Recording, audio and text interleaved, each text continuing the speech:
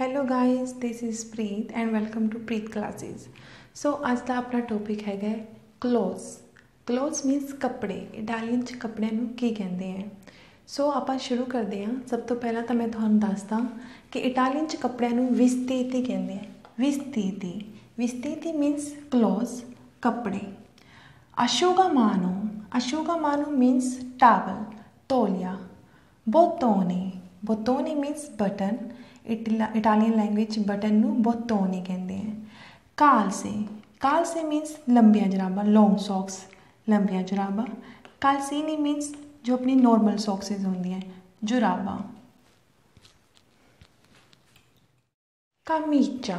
ਕਮੀਚਾ means shirt Italian ਚ ਕਮੀਜ਼ਾ shirt ਨੂੰ ਕਹਿੰਦੇ ਆ ਮੀਨਸ ਕਮੀਜ਼। ਕਾਪੈਲੋ ਕਾਪੈਲੋ ਮੀਨਸ ਕੈਪ ਟੋਪੀ।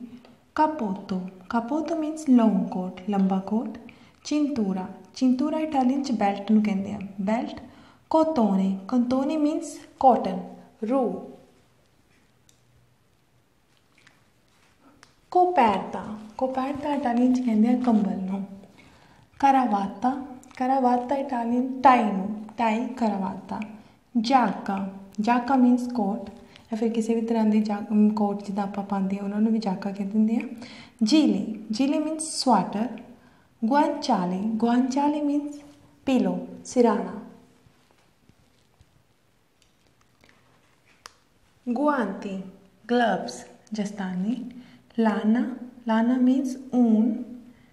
ਲੈਂਸੋਲੋ ਲੈਂਸੋਲੋ ਕਹਿੰਦੀ ਹੈ ਚਾਦਰ ਨੂੰ। ਲੈਂਸੋਲੋ ਮੀਨਸ ਚਾਦਰ। Maglione maglione oppure maglietta ਕਹਿ ਦਿੰਦੇ ਕੋਟੀ ਨੂੰ।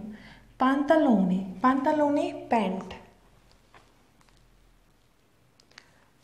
ਪੀਜਾਮਾ, ਪਜਾਮਾ ਇਟਾਲੀਅਨ ਚ ਪਜਾਮੇ ਨੂੰ ਕਹਿ ਦਿੰਦੇ ਹੈ ਸ਼ਾਰਪਾ ਸ਼ਾਰਪਾ ਮੀਨਸ ਮਫਲਰ ਸਟੋਫਾ ਸਟੋਫਾ ਕਹਿੰਦੇ ਕੱਪੜੇ ਨੂੰ, ਆ ਪੀਸ ਆਫ ਕਲੋਥ ਸਟੋਫਾ trapunta trapunta ਮੀਨਸ ਰਜਾਈ। ਤਾਸਕਾ ਤਾਸਕਾ ਮੀਨਸ ਜੇਬ।